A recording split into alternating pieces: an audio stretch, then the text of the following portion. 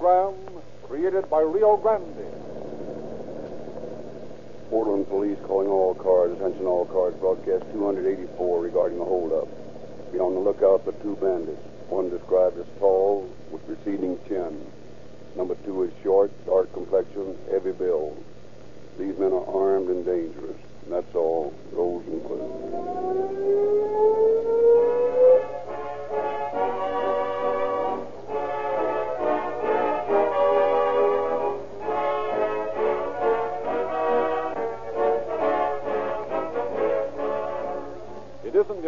how many thousand miles your automobile has gone, but how many thousands more is it good for. And although I don't pretend to be able to predict the future of man, I can read the fortune of your car if I know the kind of treatment you've been giving. it. I do say without fear of contradiction that if your car still is being pushed around on last winter's motor oil, still is wearing red flannel lubricant in the transmission and differential, it will eventually wind up on the operating table of some doctor of automotive surgery. Now is the time to put your car in perfect condition. Prepare it for the rigors of summer driving that lie ahead. And there's no better way to do that than with an overall Rio Check lubrication job. Your neighborhood Rio Grande dealer not only has the finest of materials that money can buy, but he knows his business from A to Z and gives each automobile the exact kind of lubrication specified by the man who made it. And so I make this suggestion, friends. Don't wait until something goes wrong. Have your car Rio checked so that nothing will go wrong. And it would be an excellent idea to have it done within the next day or two. Don't forget. For every moving part of your motor, inside and out, Rio check. And for real power and money saving mileage, police car performance Rio Grande Crack. The gasoline preferred by those who drive the most and know the most about gasoline.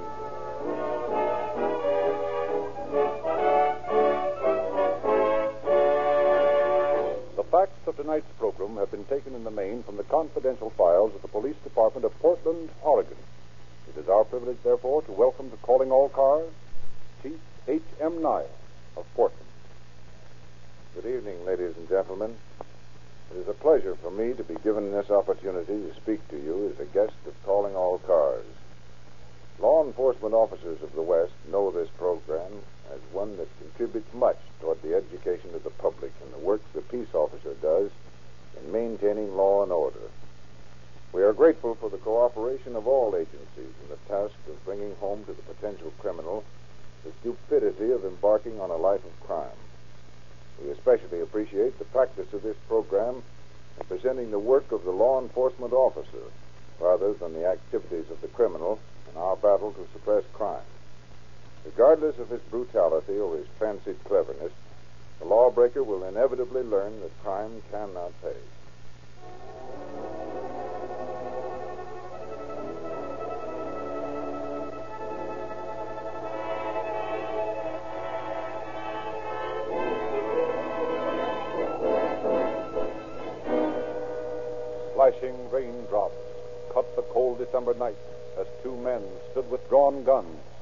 A trembling victim. And if you make a move, we'll shoot first and take your dough afterwards. Don't shoot me. You can have my money. Thanks, mister. Just keep your hands in the air and my partner will take it. It's all in his wallet. Okay. Now you keep him covered. I got something for him. No, no, don't me. Shut up and keep your hands in the air. Well, that's it. Come on, let's see if we can find some more entertainment around this town.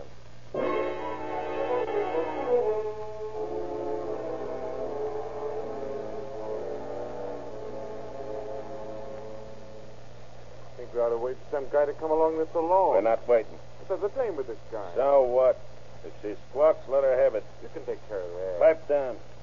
Stick your hands up, both of you. Oh, Jim. Hey, what is this? You'll find out. And don't try to be funny. Don't do what he tells you, Jim. Yeah, that's being smart. Keep your hands up, fella. You can't get away with this. We haven't any money anyway. Oh, a fresh guy, huh? Oh, this punk's got us some change. Where's your pocketbook, lady? I don't have it with me. Don't touch her. take care of her.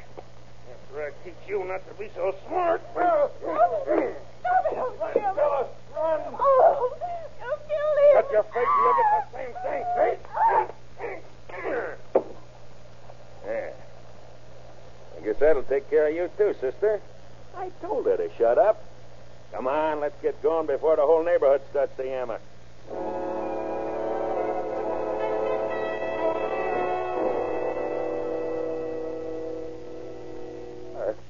I'm an old man. I'd gladly give you my money if you'll just let me go without harming me. All right, all right, mister. Hand over the dough and can the cheddar. Here, here it is. All of it. Come on, let the old papa go. Wait a minute. I'm not in any hurry. Please, please, I beg of you. Let me go. I'm going right now. You're not going any place without me. How do I know the heel won't start yelling? I give you my word I won't. Why, there's not a house for a half a block. Oh, yeah? They couldn't hear me. You have your car, and you can be miles away before I could get to a phone. You got it all figured out, haven't you?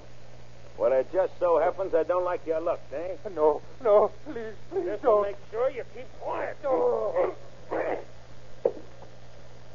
Well, you ready now? Yeah. Yeah, I'm ready. I just like to take care of everything. Doing things by halves don't appeal to a guy like me.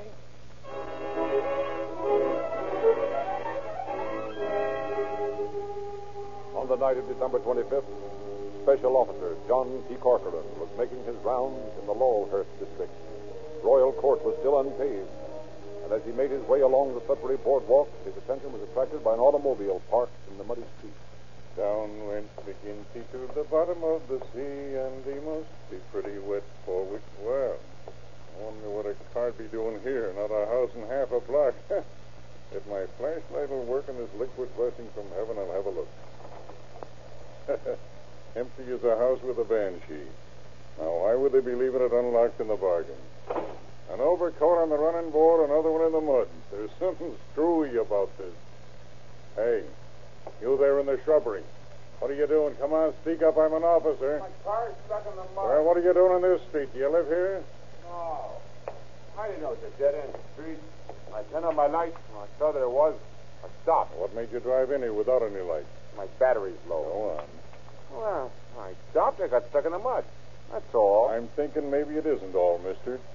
You're walking back to that car with me, and I'm keeping this light on you, so don't be trying any funny business. You got no right to treat a citizen this way. Maybe not, but get going. Say, what is this anyway? You're tall, and you got a big Adam's apple instead of a chin. I'll report you to headquarters. Yeah, they'd be happy to see someone answering your description. Now stand still while I look in this overcoat. Oh, now, what are you doing with revolver shells in this pocket? I use them for target practice. All right, mister. Hey, where's your partner? What do you mean, my partner? I mean the fellow that owns the other coat. Oh, oh, that. That's just a spare coat I carry in the car. Well, now, that's fine. Only I'm thinking you carry your spare partner, too.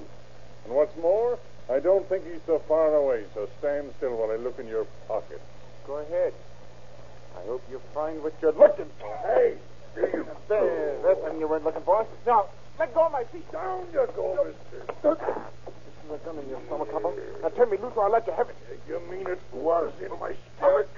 No, we'll turn your wrist slow, like this. and now a quick jerk like this. Now you have no gun, and I'll break your arm if you move. I'm putting these bracelets on you. Grip my arm. You, you got me. On the other hand, now get up on your feet and be quick. All right. All right. Get in front of me and start walking. You you're smart, don't? I do. When you're on your way to headquarters, I'll come back and get the bird that works with you. Help! Help! The boat! Shut up! Oh, so there he is. You behind those trees. Come out of your hands in the air in the name of the law. Help! Help! Shut up, and I'll crack your skull with my flash. Let go my wrist, my, my wrist, or my partner will kill you. Oh, you asked for it. All right, now you in the trees, come out, or I'll start shooting. Hey, come back here. Stop running, or I'll shoot you. Stop.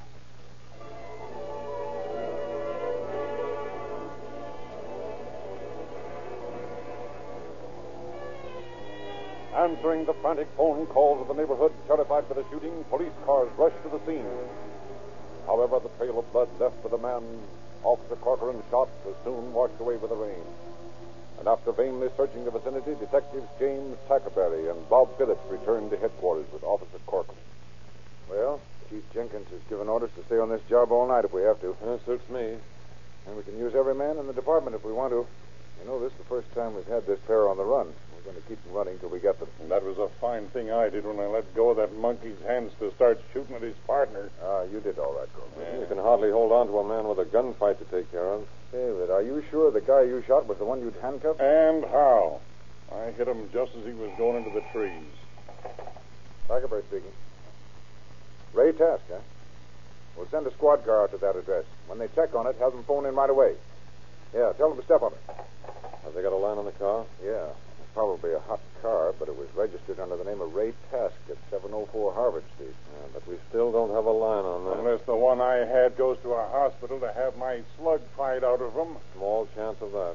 There's just one angle. I've sent for a boy that got a good look at both of those mugs. He worked in the filling station until they stuck him up and sent him to a hospital with a fractured skull. Why hasn't he looked at the gallery pictures before? He just got home from the hospital today. I hate to drag him down here tonight, but it's necessary. And between the two of us, we ought to find the picture of an Adam's apple. Yeah, if he's been mugged for the gallery. Here's the cannon, boy. Oh, fine. Come in, and sit down, young fellow. Thank you. You understand why we had to ask you to come here at this hour, don't you? Yes, sir. I'm glad to do anything I can to help. How old are you, Paul? Seventeen. Hey, just a minute, fellas.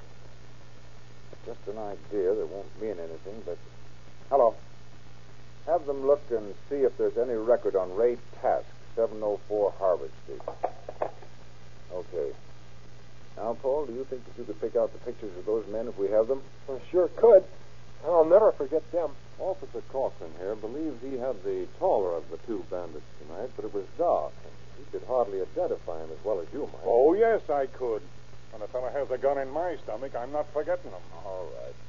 Now, according to the report, Paul, you were on duty in the filling station about. What can I do for you, sir? Get back in there and keep that trap Huh? shut. Oh, sure. But the boss took most of the money home I early. tell you to shut up. I'll find out about the dough. Where is it? Come on, come on. Well, it's all in here. Mostly change. Hurry up, will you? I told you to stay in the car. But another car might come along. So what? Get back there.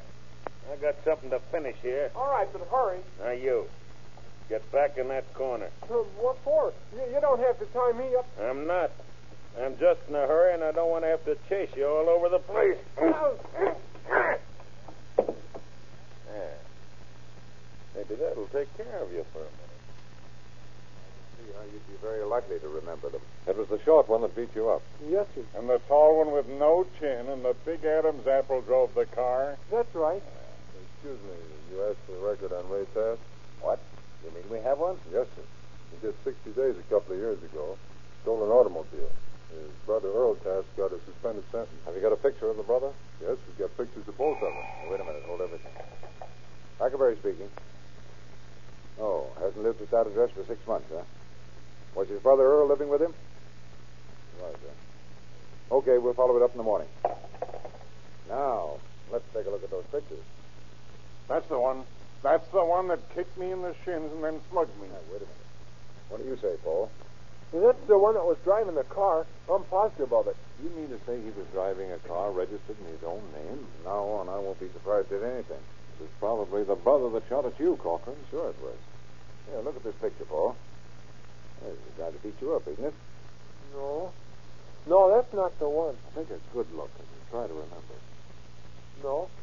No, I, I wish I could tell you it was, but I never saw this fellow before. Well, that's that. Must be three of them. There's only been two of them on every job they've pulled. Yeah, and that stumps me. Does me too. Well, is there anything else I can tell you? No, I'm sorry, Paul. One of the boys will take you home. You've been a mighty big help. Thanks a lot, Paul. You'll have the pleasure of identifying these babies in court soon. I sure hope so. Well, good night. Good night. Well, might as well go too, Corcoran. Phillips and I are going to stay here all night if we have to. Could I ask a favor? Sure, Phillips. When you catch up with that guy that kicked my shins, I'd like to be the one to hold hands with him when we're bringing him in.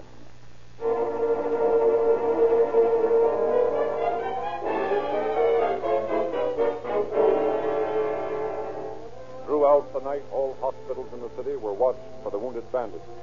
Anyone answering the description was brought to headquarters and questioned by the detectives. Morning found them weary and still without any tangible clue. Morning, boys. The chief sent me in your hand. Sit down, Hall. They'll let you sit here and figure angles like we've been doing all night. Yeah. We're going out for a cup of coffee. Here's a test predicate card. When we come back, we'll start all over again. and Give you the. Hey, wait a minute. What do you got? Look. While the younger brother was in here on that auto theft draft, he was treated at the county hospital for a throat ailment. So what? That's a long chance that maybe he's been going back there for treatment. So they might have his right address? Oh, small chance. Get me the county hospital in a hurry. You couldn't get anything from the last place they lived? No, we've had men go over the whole neighborhood this morning. Hello. This police headquarters. I want to know the last address you have on Earl Task. Right. Now, I'll hold the line. If we could nab the brother, at least we'd have somebody to work on. You think he's been working with them on the stick-ups? Well, he doesn't answer the descriptions, but you can't tell. Hello? Yes. Move from Harvard Street to 381 East Davis Street. Thank you. Well, that's it, boys. Any mug that would be dumb enough to drive a stick-up car registered in his own name wouldn't think of a hospital having his brother's address. And I'll bet his brother's nursing him right now. Gentlemen, may I accompany you to this little party? Yeah, let's go.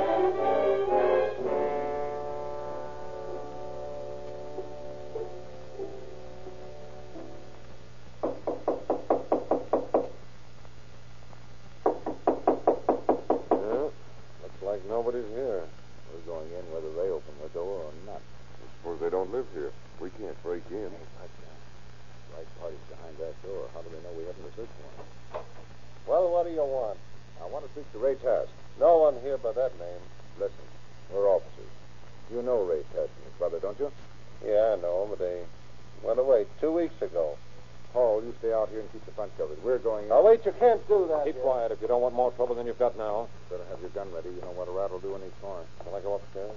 Yeah, we'll go together after we cover this part of the house. Hey, Tigerberry, Philip, come here quick. What's up? I saw somebody moving in the basement. There's a window on the side of the house. Which way were they going? Toward the front of the house. Here's the window. Kick the glass in. I can't see him. Too dark down there. Hey, what's that noise? I see him now. He's going through a window that leads under the porch. That's lattice work on the side of the porch. You can see him from there. I'll go in the basement and cover him from the window we went through. Okay, fellas, but keep behind something. Okay. It's hard to see anything under the porch.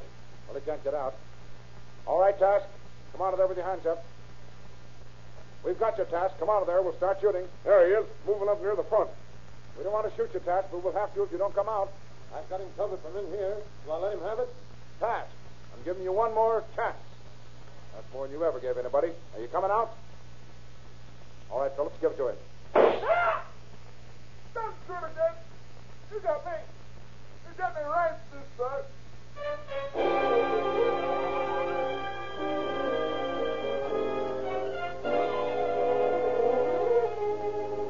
Mortally wounded, the suspect was rushed to the emergency hospital. Shortly afterwards, grouped about the bed of the dying man were a deputy district attorney, a stenographer, and the arresting officer. Are you ready to talk now? What do you want? You admit you're Ray Task? Yes, I admit it. When you resisted arrest last night on Royal Court, who was shooting at Officer Corcoran from the street? I don't know. Come on, Ray. Tell the truth. I you, I don't know. It was your brother Earl, wasn't it? Uh, it wasn't Al Earl. He was home last night. He didn't know nothing about any of the. With any of them? How many were there? Oh, there are a lot. Dozens, I guess. And you and Earl pulled them? No, I tell you, it wasn't Earl. Listen, Ray. You have only a few minutes to live. A few minutes. Doctor. Doctor. I don't want to die. I can't die now. I'm sorry, Ray, but they've done everything they can for you. Been a father to Earl. He's just a kid. He doesn't know what I've been doing. I can't die. I The best way you can do that, Ray, is to tell us who your partner was. If it wasn't Earl, If you die without telling us, things may go very hard with Earl. I won't die. I won't.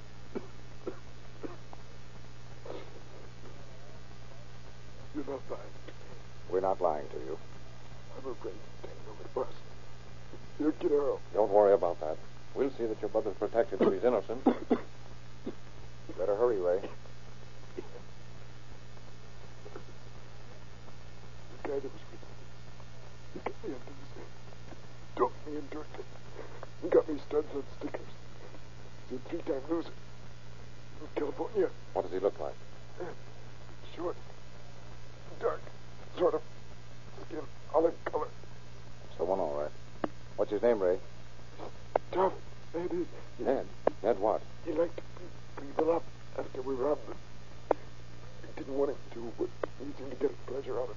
What's his last name? Where can we find him? North end. North end of town. Skid Road. Skid Road. you mean where all the joints and flop houses are? Skid Road. Ned preaches there. Preaches? Yes. Ned, Ned. Skid Road. He's evangelist. You've got to tell us more about him. Come on, give us the truth. Truth.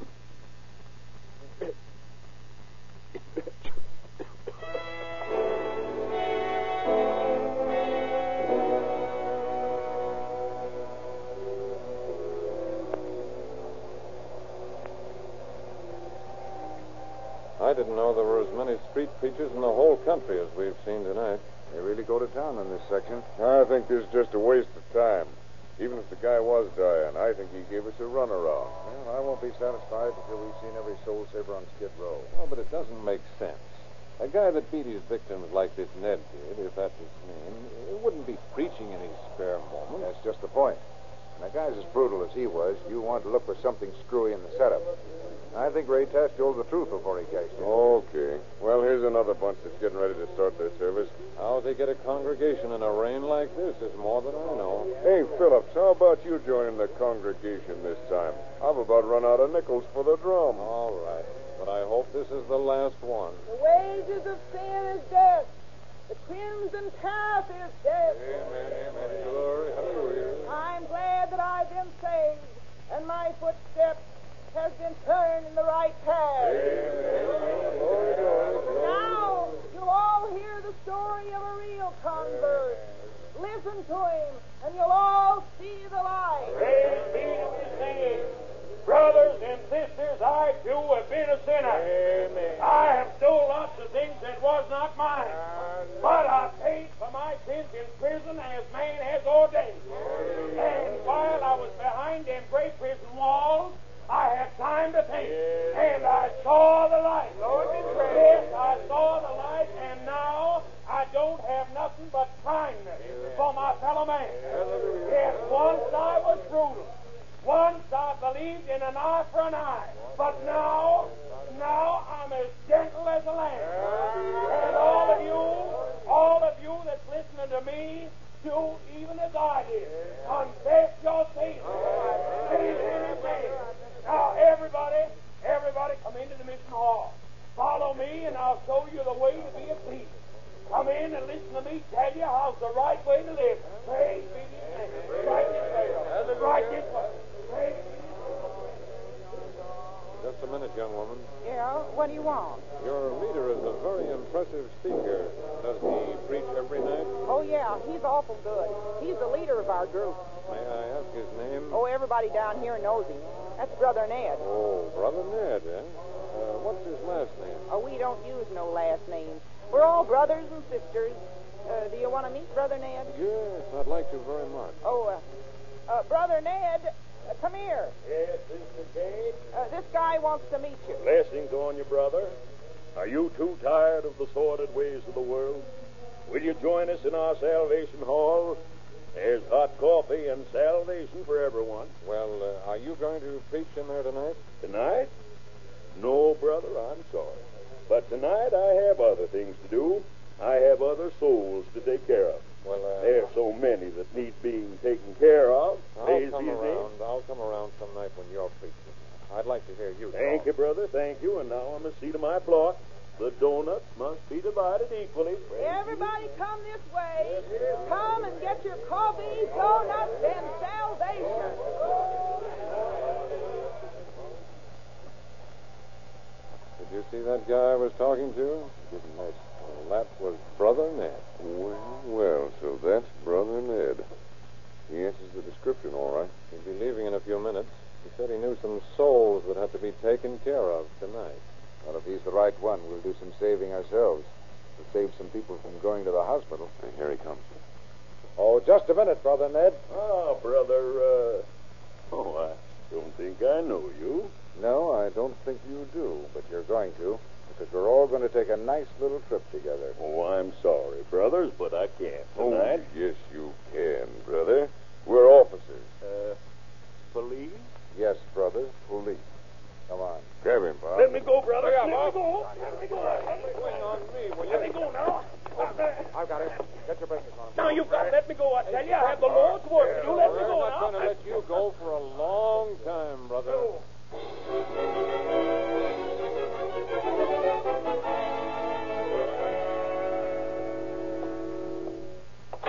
Come on, get in there. Now you can't put me in there. I've got to take care of my flock. Never mind. They'll be taken care of, but if you don't get in that cell, you'll be No, taken care of. no, I tell you. Oh, that- go on. Well, now that you feel at home, maybe you'll talk. Yeah. After those three stretches you did in California, you ought to feel at ease with bars around you. Now you got me all wrong, brother. You might as well talk, because there's dozens of souls you took care of that will identify you as the guy that beat them half to death. I'm afraid I don't know what you're talking about, brothers. I suppose you don't know what that automatic was doing in your pocket, do you? That?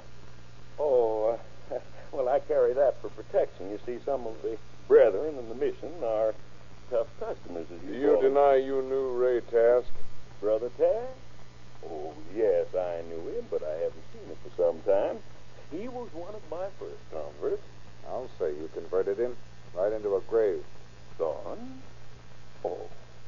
Has Brother Tad passed on to his reward? Yes, he has. And it's too bad you can't get the same reward. I, I'm afraid you're talking in riddles, brother. Cut that brother act. Now listen, Ned, the game's up. You've been very clever. It's a swell act. But just before Ray died, he confessed. He told us all about you. He, that dirty rat always was yellow. What did you say? You heard me, coppers. That dirty rat always was yellow. I knew I should have worked alone. Well, well, that sounds like the guy we've been looking for for a long time. Well said, Brother Ned. So you admit you worked with him on the stick-up? Sure, sure, sure. I admit it. You never would have got us if that jellyfish had learned what I tried to teach him. Yeah, the brotherly love policy. Slug first, last, and always. Ah, nuts. I'm disgusted. All right, what do you want to know? Well, this is just idle curiosity, but uh, why did you always beat people up? Why? The same reason you guys always play poker. I got a lot of fun out of it, see? Hmm, that's an original idea. How about the religious angle? Yeah. Was that a lot of fun, too? But that. you know, coppers, that's a funny angle. Go ahead and tell us. I'd like to get one laugh out of this case. Well, you see, when I did my first stretch in California, I did one of the stir shows. I had the lead in this show, see? The cons had to have some entertainment. Does it say the lead in the show? Sure, and was I terrific. Even if I did play the part of the guy that always got it in the end, the cons liked it. You know, I got seven and eight curtain calls. So what?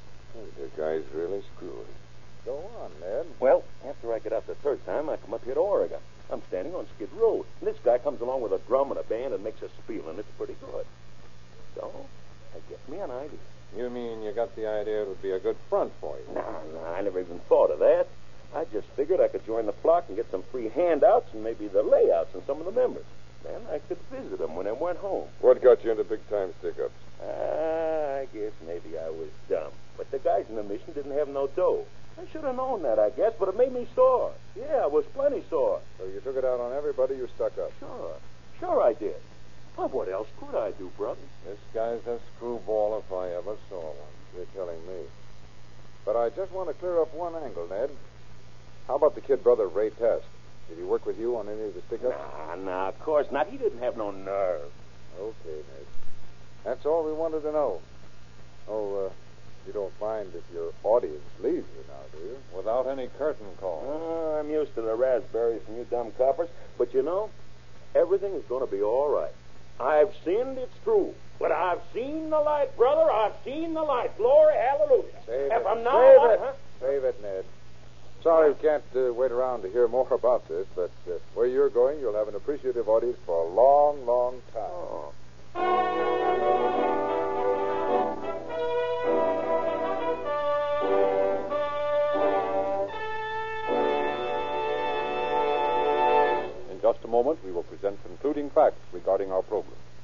To say this before we close, friends. Whether you're going to the fair, or in search of wildflowers, or merely going about your daily tasks, there are no more congenial motoring companions in pleasure or business than wear and tear preventing Reolube motor oil and powerful Rio Grande Cracked, the most highly recommended gasoline sold in the West.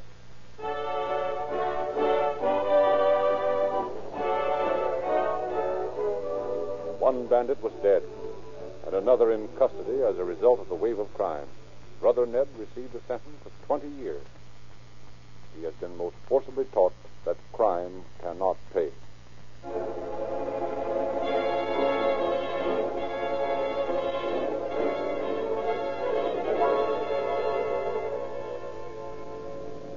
Portland Police calling all cars, attention all cars, the cancellation broadcast 284 regarding a holdup. Suspects in this case captured by Portland officers. That's all. Rosenquist.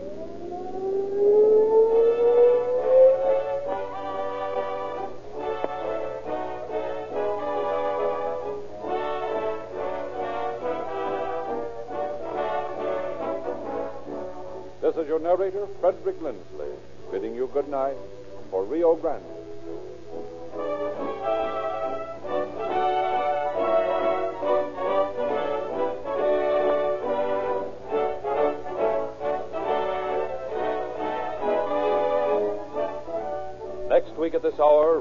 Rio will present